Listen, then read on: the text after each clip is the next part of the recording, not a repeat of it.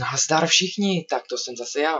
Tak, v dnešním díle bych vás rád naučil, jak udělat automatický lávový generátor, což je jeden z nejvýkonnějších generátorů vůbec, protože vlastně jeden lávový kyblík, nebo v našem případě budeme používat tyto lávové články, tak jeden z nich je schopný vytvořit 20 000 EU.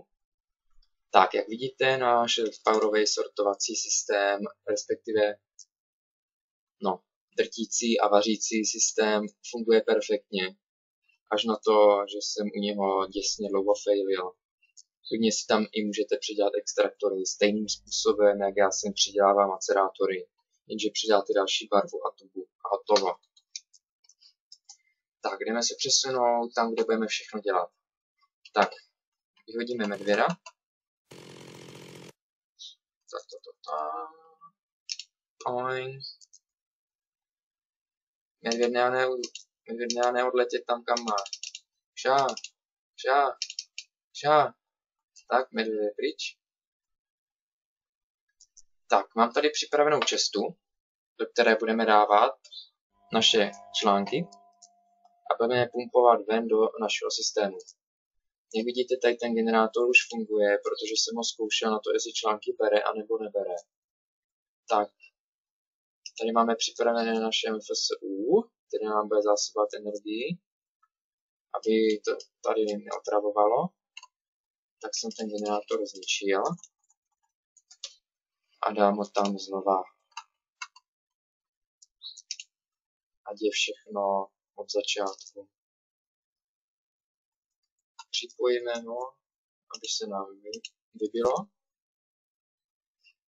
A mezi tím, co budeme používat? Budeme používat Distribution Transport Pipe na rozdělení lávových článků podle potřeby do našich generátorů. Kraftí se takhle. Sklo, dva iron ingoty a jeden redstone. Redstone tady vidíte úplnou kravinu, ale to je detail, který byste měli si ptát. Tak, ve z našeho FSU je vybité, odpojíme ho, aby jsme pak viděli, jak nám bude rychle přidávat. Tak, teď. Jelikož u nás v generátoru potřebujete dávat články dolů, tak potřebujeme proto dopravovat naše články ze spodu. Tak, jak to uděláme? Tady prostředkem povede naše distribuční síť. A teď Jelikož je máme blízko sebe a nechtělo se mi to dělat s jednou mezerou, tak aby vás něco naučil, použijeme Iron Transport Pipey, které se navzájem nepropojují, respektive můžete si nastavit, jak by se měly navzájem propojovat. Tak je tady dáme. Průhledná část je část, ve které to, ten item je schopný projít a ta tmavá, respektive matná část, je ta, ve které item není schopný projít, ale může, ní, může z její strany přijít a nemůže jít ve, v jejím směru. Víš, když by naše kapsle vylezla z vrchu, nemůže jít doleva a může se vrátit, ale to se jí nestane. Když připojíme transportní pipu, vidíte, že se nám to tady takhle ještě přidá jeden matný. Když to znamená, že kapsle přijde, rozdělí se a nemůže nikam jinam, než jenom nahoru. To samo v dalším případě, přesně jako, přesně jako potřebujeme. Kdyby se vám náhodou stalo, než vám to předvedu, vezmu si tady třeba Stone Transport Pipe, který taky použijeme a představte si, že máte takové křížení. v našem případě by teďka je to v celku blbost. Když by item přišel z téhle strany, nemůže jít nikam, vrátil by se zpátky vlastně odkopl by ho toho na začátku. To samo tady, to samo tady, to samo tady. Teď jak to upravíte? Máte Buildcraftový branch, který je ze třech iron ingotů a z jednoho stoneu, stoneového gíru a normálně pravým tlačítkem upravujete stranu, do které to přijde. Tudíž tyto tři strany jsou vstupní, tato je výstupní. Tady je tato výstupní, tyto tři vstupní.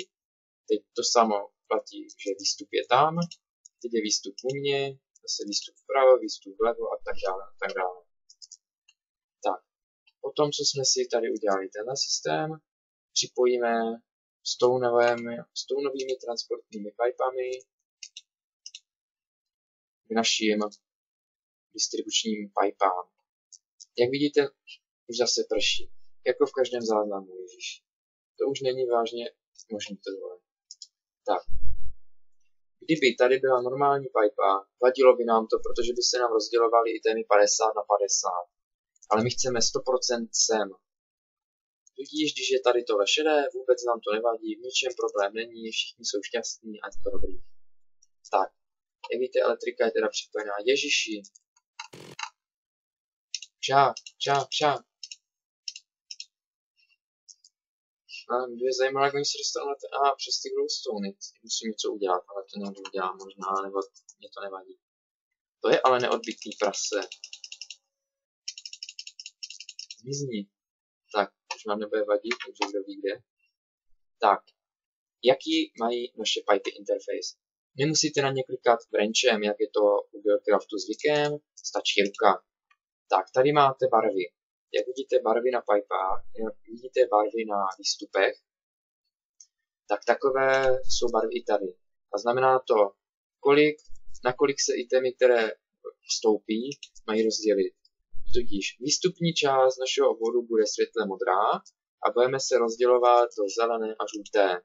Tudíž tady se budeme rozdělovat po jedné a sem půjde zbytek. Dohromady našich generátorů 14. Tudíž půjde jeden, jedna kapsle doleva, jedna kapsle doprava. Takže jedna, jedna.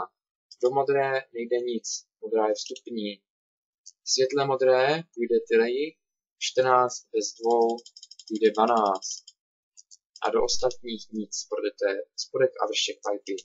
Tady půjde jeden, jeden a 10. Protože to je vlastně 12 bez dvou. Tady jich půjde 8. A 1, 1. Tady jsem zapomněl jsme za jedničky, to by nám vesměs ani nevadilo, ale dělalo by to bordel. Tak. Tak. 8, 1, 1, tady bude 6. 1, 1, tady bude 4, 1, 1, tady nevadí tohle. tady bude 2, 1, 1 a na koncu už bude na všem 0 jenom 1, 1 zbyde. Tak, když do nich vložíme články, náš zahřátý motor jsou nový, který díky bohu nebouchá, jinak na v, tam, v tomto červeném stavu už by nám motory normálně bouchaly. Ale pokud není poháněn ještě dalšíma dvěma motorama na stranách, tak nebouchne. Tak, Aha, teď už, už to vidím, že nakonec, jak jsem mluvil o tom, že nám to vadit nebude, tak nám to vadit bude. Protože jsem si neuvědomil, že ta strana je vstup. No nic. Typička se budou dělat, to uděláme, povedeme to vrchem. Vrškem a nic se neděje. Hodíme je zpátky. Tak. A jdeme vysvětlovat.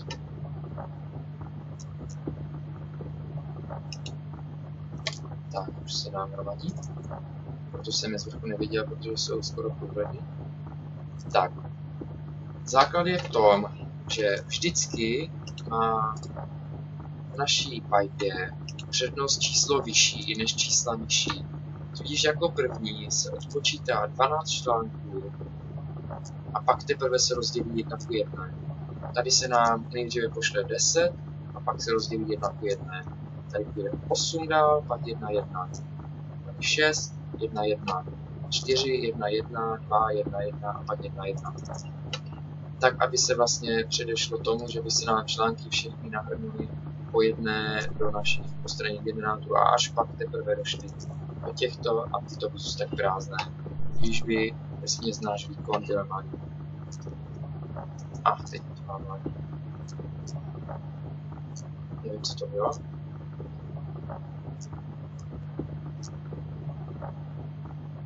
Opravdu mě to nezajímá. Tak a vidíte, už se nám rozdělují do poslední. Tak, ten lag způsobuje tolik věcí v té Pi 15 ty vyndáme, nebudeme potřebovat, necháme to proběhnout, tak to přestanovovat. Já mezi tím vám ukážu tohle. Mám tady amulet, ten, ten patří k Equivalent Exchange, jednomu z mých oblíbených módů. A ti vám ukážu, jak se naplní prázdné články. Mimochodem, kraftí se ze čtyřech týnů, anebo i irony jsou, myslím, použitelné.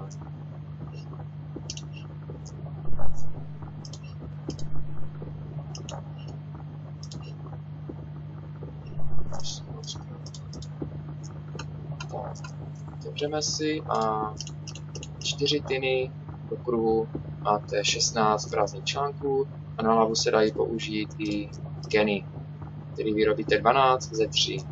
Ale vždycky se víc vyplatí prázdný článek. Tak a já si asi stáhnu zvuk, který mám vyplay. Ale jako vždycky všechno odmítá poslouchat. Tak.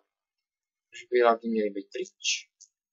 Takže náš systém, jak vidíte, funguje velice, ale velice efektivně, jelikož nemám připojený výstup, když se nám hromadí energie. Jak vidíte, rychlost tohodle je jedním slovem uchvatná. Prostě je to jeden z nejvýkonnějších systémů v tom, že si za sebe můžete dát bezpočetně. A je to systém jednoduchý na stavbu, když to porovnávám se systémem Watermillu tady na konci. A už na to se laguje, jak se nám načítá mapa, neproletěl jsem. Mapku předtím, tak vyplníme všechny přebytečné systémy. Tam dole mám taky, ježiš, to jsou lagy. Až to pěkný není. Tak, no nic, myslím, že mi něco, aha, běží na, na liště, takže, abych to zbytečně neprotahoval, tak tady máte nejvýkonnější elektra, jednu z nejvýkonnějších elektráren vůbec a nejjednodušší. A já, jelikož mám takový lagy, tak už to ukončím a nazdár, mějte se.